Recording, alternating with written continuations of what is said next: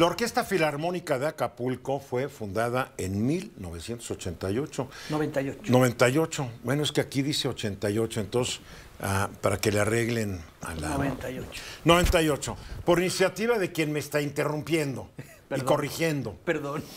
Eduardo Álvarez Ortega, mi queridísimo tocayo, ¿cómo estás? Bien, Tocayito, muchas gracias por la invitación. Hola, Venus, buenas Eduardo, tardes. Muy ¿cómo contento de estar aquí nuevamente en tu programa. Eduardo fundó la Orquesta Filarmónica de Acapulco y actualmente es director de la Orquesta del Conservatorio Nacional de Música. Y tú eres como el rey Midas de la música. En serio, tocas una orquesta y la conviertes en una gran orquesta, con una nueva sonoridad. Y creo que el gran reto que tú estás enfrentando es una orquesta de estudiantes. Exactamente. Porque la que la se va renovando. La filarmónica era de músicos profesionales. Claro. Y, y esta se va renovando, por tal vez tenías un, un trompetista extraordinario, pero ya acabó la carrera y se fue. Y se fue. Y empieza con otro. Empieza con Entonces, qué reto, ¿eh? Sí, es, es difícil, no es, no, no es fácil. A ver, en 1998, ya son 25 años, se funda la Filarmónica de Acapulco. ¿Cómo le hiciste? Porque en mi carrera profesional de periodista he conocido a muchos músicos que me decían, quiero fundar una orquesta. Ya sabes, se me hace cana, hay que fundar una orquesta y como saben que soy melómano, yo les decía, ¿sabes lo que cuesta? Sí, Me decía, ¿sabes lo que cuesta? Cuesta mucho dinero y mucho, dinero. trabajo. ¿Cómo nace el proyecto? Mira, Eduardo, fue, fue obviamente una, una tarea muy importante en mi vida profesional, pero nació desde que mis papás eh, eh, íbamos, con mis papás íbamos a Acapulco y yo veía el teatro, Juan Ruiz de Alarcón, y decía, maestro, ¿cómo es posible que no exista una, una, eh, orquesta ¿Cómo es sinfónica? posible que no pase nada dentro de este teatro? A Exactamente, veces. ¿no? Tú sabes que en esa época tenían partido único, todos construían el teatro, gastaban lana, hacían negocio, después se olvidaban del teatro. Y ahí quedaba. En la época donde el PRI tenía todo lo que ahora va a tener Morena, ¿ves así? Y entonces, eh, eh, durante mi vida profesional, me doy cuenta, por supuesto, que Guerrero nunca, no solamente Acapulco, sino en todo el estado de Guerrero, nunca había tenido una orquesta sinfónica profesional en su historia. Entonces, yo eh, viendo esos datos, dije, ¿cómo es posible que no haya? O sea, obviamente hay gente muy talentosa, hay gente muy sensible y es un importantísimo polo de eh, turístico. O sea, tenemos que mostrar algo ahí a, a- a los mi- millares de, de turistas que, que día con día van a... Y van a lo que estás diciendo es el drama de no sé cuántas ciudades importantes de México. Porque son pocas las ciudades que tienen una orquesta sinfónica permanente. De Y buen nivel. profesional, y sí. profesional. de buen nivel, sí, Porque, profesional. porque, porque la verdad, la mayoría de los gobernadores y gobernadoras No les importa. culturalmente son unos subdesarrollados. La verdad, Sí. ¿no?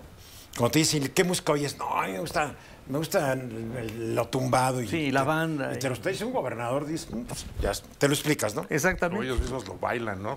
No, está bien bailarlo, no hay problema, pero Pero bueno, hay que, son un reflejo del país. Es un reflejo. Entonces, pues eh, y yo obviamente con una inquietud muy grande, eh, pues presenté varios eh, eh, eh, proyectos para for- fundar orquestas. Me acuerdo muy bien, una, una era en San Luis Potosí, la otra era en, obviamente en Guerrero y en Puebla también. Y entonces, bueno, en Guerrero, después de algún tiempo, me, me mandaron llamar, cuando ya estaba yo eh, con la Filarmónica de la Ciudad de México, y me mandaron llamar diciendo que, que les interesaba, pues, re- ahora sí que iniciar bien, bien el proyecto. ¿Quién era el gobernador? Eh, Ángel Aguirre Rivero. Eh, Ángel, me- el gobernador Ángel Aguirre me habló y me dijo, maestro, eh, piénsalo, chécalo, eh, yo aquí obviamente te daré todo el apoyo que se necesite, obviamente con el plan pues muy bien establecido, perfectamente bien detallado, se le, se le presentó y el, el primero de, de enero del 98 precisamente me dijo, vente para acá y hacemos la filarmónica y bueno, pues ahí empezó la, la travesía de 25 años de menos con un servidor. Todavía era priista Ángel Guerrero, creo. Sí, por supuesto. Sí. Ahora, ahora, es- ahora ya no sé dónde. Ya no sé Está dónde. en eh, eh, una izquier- izquierda progresista, se le llama. Eh, mira, donde sea va a seguir siendo priista. Por favor. Y los músicos los, los reclutabas de ahí también. y- De, de todos lados, Venus. Fíjate que, bueno, en esa época, hace 25 años, pues el internet estaba así como que no muy, muy fuerte. Entonces, pues con correos electrónicos Te y lo todo. digo porque yo conocí a, al- al- algunos de los músicos de la orquesta. Sí, claro.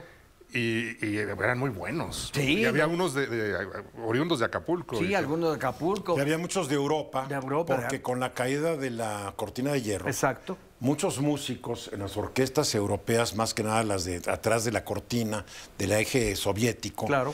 trabajaron en orquestas que estaban subsidiadas ampliamente por los gobiernos. Pues se acabó la URSS, se acabaron acabó. estos gobiernos, se acabó Y la lana. afuera. Y yo, yo me acuerdo, llegaron muchos músicos de Polonia, de la República Checa, De Armenia. de De Alemania. Oriental, hasta de Rusia llegaron. Sí, claro, Y por encontraron en México un lugar bueno. Claro, entonces pues me di a la tarea de de juntar ahora sí que a, a la tropa, sí, y con, con grandes eh, resultados y con, con muchas satisfacciones personales, porque, por ejemplo, el, eh, los dos primeros músicos que llegaron a audicionar a- a- para ser integrantes de la Filarmónica eh, fue el maestro Ezequiel Mendoza, que Ezequiel era el primer coro de la Sinfónica Nacional de México, y David Jiménez, el maestro David Jiménez, que era un clarinetista, eh, también de la Sinfónica, el primer clarinete de la Sinfónica Nacional, y oriundo de Guerrero, de Tulimán. Se querían regresar a la Y playa. dijo, es que yo quiero, le dije, pero por supuesto, pero entonces vénganse, y obviamente se empezaron a llegar, y bueno, tal fue el éxito de la Filarmónica que empezamos en, eh, obviamente en enero, el primer concierto lo dimos en abril del 98, el 2 de mayo del, también del 98 ya un concierto en forma en el Teatro Juan Luis de Alarcón, y en diciembre mismo de ese año ya estábamos eh, acompañando a Plácido Domingo. Además, esta orquesta, tú le diste un cariz extraordinario. La hiciste viajar por todo el estado de Guerrero. Que no es cosa fácil. Que no es Qué valor. Sí. La verdad. Por los y, municipios, Y sí. nunca tuvieron un solo problema. Nada. Porque hasta la maña en Guerrero respetó la orquesta. Fíjate. Sí, qué sí, es- cosa es, más. una cosa Fíjate muy que, bonita. ¿eh? que fue un, un- un, eh, experi- no experimento, sino fue una realidad eh, social muy, muy importante. Porque primero eh, recibían a la orquesta, que nunca habían, nunca habían sabido lo que es una orquesta, recibían a la orquesta, la escuchaban y se enamoraban. Entonces a mí me tocó con, varios gobernadores que lo primero que decían los presidentes, presidentes municipales decían, eh, gobernador, necesitamos obra pública, tal una escuela, lo que sea, y después que venga la filarmónica. Entonces, la, la Filarmónica se convirtió, como dicen por ahí, en el ajonjolí de todos los moles, Qué porque padre. nos pedían a todos lados y por todos lados. Entonces, pues la- las siete regiones del Estado la, la recorrimos eh, eh, con giras, a veces extenuantes, pero obviamente con todo el cariño, no solamente de mis compañeros de, de- de- de la Filarmónica, sino toda la gente que nos invitaba y nos esperaba. Había gente que nos esperaba por semanas que llegara a la Filarmónica. Platícame una anécdota que mantengas en tu memoria que sea sumamente grata de alguna de esas giras al, al interior del estado, Por no de. Acapulco. Mira, eh, hay muchas, pero hay dos o tres que son así como que fundamentales y, y permanentes en mi corazón.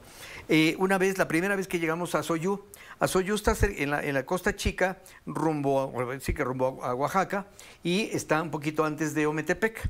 Íbamos a ir a Ometepec, pero después íbamos a tocar en Asoyú.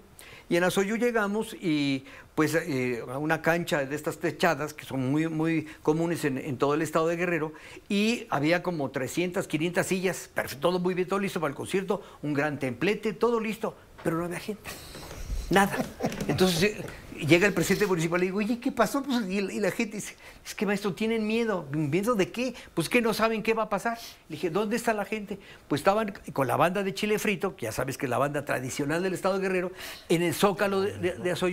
Entonces le dije, pues vamos. Entonces ya llegué yo, y al, al- director de la banda le dije, vente conmigo, vamos aquí al, al- al concierto de la Filarmónica. Sí, maestro. Entonces empezaron a tocar y la gente empezó a... Lo siguió. a- siguió. Entonces entran al, recinto este, eh, llega toda la gente y cuando ya llega toda la gente, arranco yo con la Filarmónica. Entonces la gente no supo qué hacer y se sentaron en, en las respectivas sillas. Todo perfecto. Entonces un, un- un concierto maravilloso, la gente llorando, pero realmente ¿Qué tocaron? llorando. Música del bueno, música clásica que le llamamos, pero música muy ligera. Alguna obertura de Rossini, cosas por el estilo, y la música del estado de Guerrero. Claro. Entonces, Eso fue, yo oí algunas eh, ba- bailes que hicieron arreglos sinfónicos Claro. de bailes tradicionales de Guerrero. Por supuesto. Padre. Y preciosos, ¿eh? Se Y oían entonces la gente, pues, eh, fa- fascinada, muy contenta. Y termina el concierto, y lo más bonito fue que la misma banda de Chile Frito empezó a tocar en honor a nosotros. Entonces dije, ah, bueno, pues perfecto, es lo que hice. Otro hubiera dicho, bueno, pues muchas gracias. No, yo le dije a, toda mi, a todos mis alientos madera y eh, metal y percusión, bájense y toquen con ellos. Entonces se armó una bandota de chile frito, pero sensacional. Bueno, la gente estaba muy contenta y emocionadísima hasta las lágrimas. Pero la, la- la- la anécdota más bonita es que acaba el, el concierto y acaba todo esto y llega una señora. Una señora como unos noventa y tantos años, muy humilde, con su, con su rebozo preciosa la viejita, y agarró y se me, me abrazó y se puso a llorar. Dije, señora linda, ¿pero por qué llora? Dice, es que, mijito, yo no sabía que esto existía. Y eso, eso pues, te, te, te simbra, te simbra. Todo esto y más en el libro Notas de una historia que se va a presentar el próximo 5 de septiembre. A las 5 de la tarde, en el conservatorio, El sala conservatorio. 34. La sala 34. Sala 34. Entrada gratis. Eh, por supuesto, ¿Vas a entrada ir, libre. verdad, Venus? Sí, claro, ahí- que- ahí va a estar el-. Venus. ¿En qué cae? ¿Miércoles? Jueves. Jueves. Jueves 5 a las 5. El. Conservatorio Nacional de Música, aquí en Presidente Mazarik, esquina periférico, en la Ciudad de México. Exacto.